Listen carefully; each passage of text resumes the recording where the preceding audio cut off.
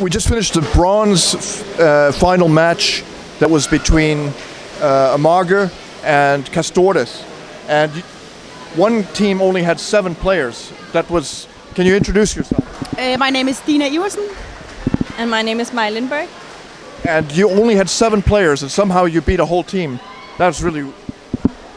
Yeah, like we have very strong players, but of course we could we could eat, uh, use some more. But uh, because we know each other so well, and we've been training together for so long, then we just know each other. So we have the strength to uh, win this match. You knew that if you had a lead, Marianne and Pernille could hold on to the ball for a long time. A lot of people could hold on. Yeah, of course. Um, Yeah, I guess when you know two uh, strong teams, they meet each other.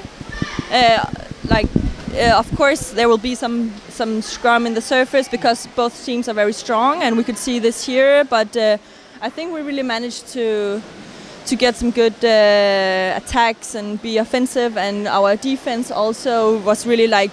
Laila and Dina and Pernille and Maria and Anna, they are really strong on the defense. Defense, there are never anything to be worried about as a. Uh, we have each other's backs. I think. Yeah. The last five minutes was really hard. Yeah. I, I was about to cry. I couldn't do anymore. Yeah. Yeah, it was really hard. Yeah, you could feel it was tense, and both teams they really wanted to win, and they just you, you could feel the Colombians they were putting all the strength. Yeah, they really wanted to win. They, you can feel it. They were really fast and for checking you if you got the ball. They were always two on you. So- In the second half, you had the ball on their side for a long time.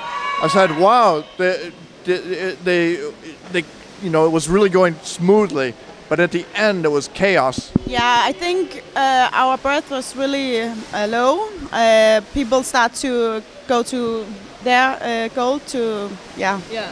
get some space, and we was we was not that close.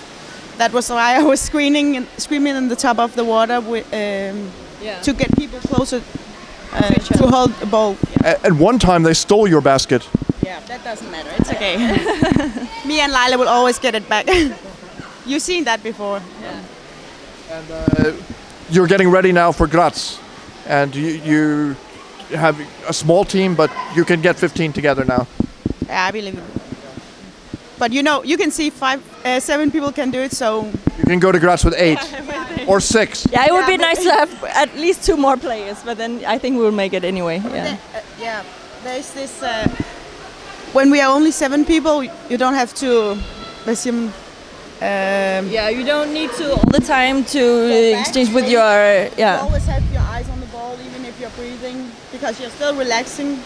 And sometimes when you jump into the water, if you've been sitting uh, and taking your breath outside the pool, then you can have a, it can be difficult for you to get the full yeah. So that's easier actually when you're only seven people. There, there were forward, uh, three forwards exchanged, right, on the bench. There was one person on the bench, Yeah. and that was a forward. Yeah. Yeah.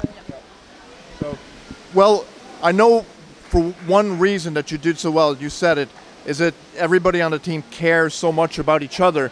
And I, I know Tho- Thomas Merck, he used to be your coach before. He talked about that. That was another team. That was Uwe. Another team, yeah. So we have, this is a yeah Ama. So Ama, yeah. we have. All right, congratulations. And are you going to the party tonight? Of course, you know us. I see you there. Thank you. thank you.